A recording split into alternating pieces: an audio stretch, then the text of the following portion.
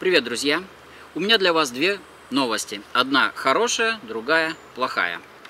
А, хорошая новость, э, я хочу сказать так, э, что кажется, скоро всех нас ждет повышение зарплаты. И я сейчас поясню почему. Ну, безусловно, это хорошая новость, потому что всегда приятно, когда э, зарплата повышается. А, и почему она будет повышаться? И почему я так считаю? Ну, на самом деле это уже происходит сплошь и рядом. Э, повышение зарплаты. Может быть, кто-то не замечает, но э, я вам подскажу. А, э, сейчас идет специальная военная операция, и люди из самых депрессивных районов набираются и отправляются туда. Уже отправлено, они уже там э, воюют вовсю, и э, там они получают где-то по 150, там говорят, кто-то говорит по 200 тысяч рублей в месяц. И, конечно же, это люди, которые э, до этого получали 20-25 тысяч рублей в месяц, сейчас 150-200. Ну, э, это существенное повышение зарплаты. Там, конечно же, в связи с такими большими деньгами, э, достаточно много из этих денег пропивается, но и довольно много из этих денег отправляется на родину. И люди откладывают, они грамотные и пытаются что-то там купить, там пресловутую эту ладу белую и так далее, и так далее. Вот.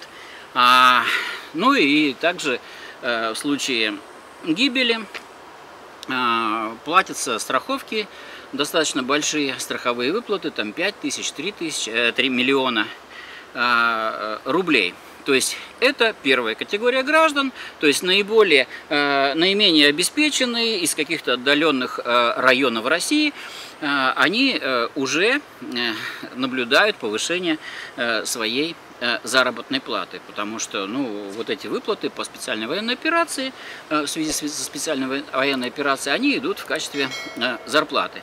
Вторая категория граждан, которые ждет и который уже повышается заработная плата, это, э, смотрите, после того, как была объявлена, это айтишники и специалисты высокого класса.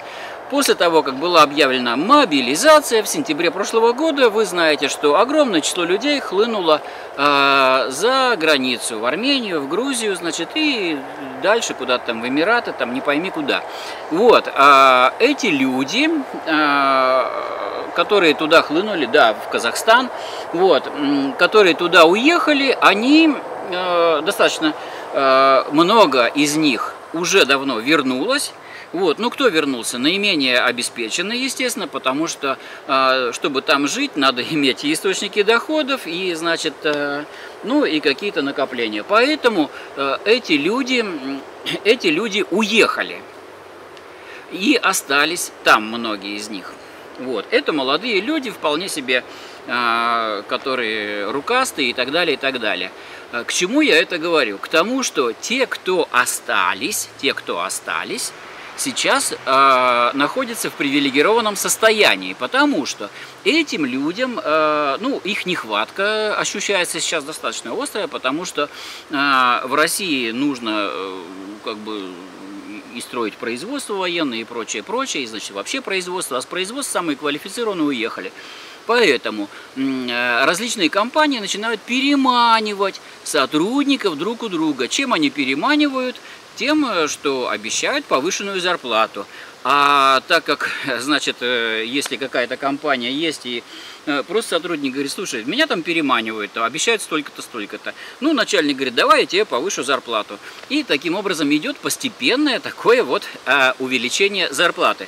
То есть идет постепенное увеличение зарплаты, ну, у одной категории, которые воюют, вторая категория это те, которые высококлассные специалисты, потому что их не хватает. И это специалисты не только вот высококвалифицированные, там айтишники какие-нибудь, но и всяческие люди, которые выполняют очень массу большую технических работ. То есть слесари, токари, сантехники и так далее тоже, в общем, сказать, их тоже нехватка. Почему? Потому что э, ну, среди них была достаточно большая доля мигрантов, и на стройках тоже достаточно большая доля мигрантов. Эти ребята тоже, в мелко виделось все это, и они начинают а, смываться. И еще, а, а, ну, во-первых, значит, там уже есть э, как бы задвиги такие, что давайте-ка мы мигрантов туда будем отправлять на специальную военную операцию, мобилизовать, во-первых, а во-вторых, и вот сейчас я подхожу к кульминации, наверное. Вот, во-вторых, доллар э, растет, рубль падает. Раз рубль падает, мигранты, собственно говоря, они здесь приехали зарабатывать деньги, и они посылают эти деньги туда, на родину, свой родной Таджикистан. Так как э, для того, чтобы послать такое же количество долларов потому что рубль падает ко всем валютам, в том числе и к э, этому таджикскому, что там у них там, манаты или не знаю что. Вот, короче говоря, а, надо посылать, рубли зарабатываются те же, а посылать надо э, в долларах, ну, то есть как бы э, на доллары тратится больше рублей. Поэтому, поэтому они уже начинают думать, что им делать, и не лучше ли им смыться куда-нибудь в тот же самый Казахстан и там зарабатывать э, деньги, потому что там ну, рубль относительно казахского тенге тоже очень сильно упал. Вот. То есть э, мы сталкиваемся с чем? С тем, что э, рубль падает, и, значит, поэтому э, есть еще отток какой-то. Вот. вот эти вот категории людей, они уже, уже получают, ну, как бы им уже повышается потихонечку такая ползучая повышение зарплаты наблюдается. Ну, а еще кому повышают зарплату, это всякие силовики. Почему силовики? Ну, потому что, потому что силовики сейчас, говорят, массово уходят, э, увольняются. Вот э, министр Колокольцев сказал, что из Министерства внутренних дел массово увольняются люди. Вот. Там немножечко сложнее ситуация, потому что оттуда, если увольняешься, то сразу вручают повестку, потому что говорят, блин, парень дорогой, вот тебе э, повышение зарплаты, если тебя что-то не устраивает. То есть там, короче говоря, эти люди э, не совсем довольны и зарплатой, и не совсем э, понятно, как им уволиться. Если они не увольняются, они тоже рискуют попасть туда. И, в общем, в общем здесь им э, повышают тоже, как должны повысить зарплату всяким силовикам, Росгвардии и так далее, и так далее.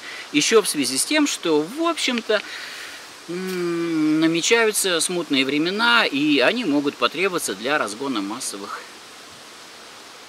протестов, которые, в общем, я вполне допускаю. Я думаю, что и власти тоже вполне допускают. И есть еще огромная категория, которая осталась, это всякие бюджетники, то есть э, медицинские работники, значит, работники образования, всякие музеев там, э, всяких там пенсионных фондов и так далее, и так далее. Что с ними? Им тоже будет повышена зарплата, и я даже могу предположить, когда это произойдет. А произойдет это а, либо в конце этого года, но скорее, скорее с начала следующего года. А, власти объявят о повышении зарплаты бюджетникам вот таким, таким, таким, таким. Да, и пенсии тоже а, повысят. А, в связи с выборами. В связи с выборами вот, э, будет повышена зарплата для того, чтобы люди не так сильно возмущались. А чем они будут возмущаться? А вот теперь у меня вам плохая новость, что прежде чем ваши зарплаты и пенсии повысятся, это я к бюджетникам обращаюсь прежде всего, а -а -а повысятся цены. Цены повысятся. Кругом и на все. И когда цены повысятся, вдруг люди обнаружат, что жить стало труднее, жить стало тяжелее, чем раньше. И это будут самые обездоленные люди. И э, вот для того, чтобы успокоить этих людей, и будет принято решение об индексировании их окладов. Но это не последняя плохая новость. Потому что, смотрите, с января месяца, скажем, повышаются вам оклады. Наступает февраль месяц, вам только начинают выплачивать эти повышенные оклады. Что произойдет в феврале-марте? Э, тут власти всеми силами будут держать э, цены, но цены абсолютно логически должны расти, потому что, смотрите, есть, значит, там э, А поделить на Б.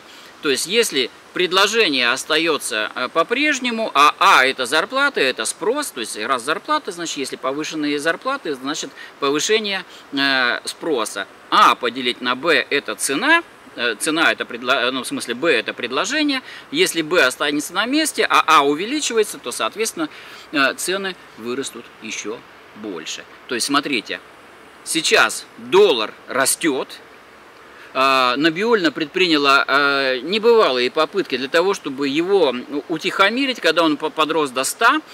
Сейчас вы видите график доллара, значит, эти усилия Центробанка привели к тому, что доллар опустился до 93 рублей за доллар, и сейчас потихонечку, вы видите, он растет. Куда он растет? Как он растет?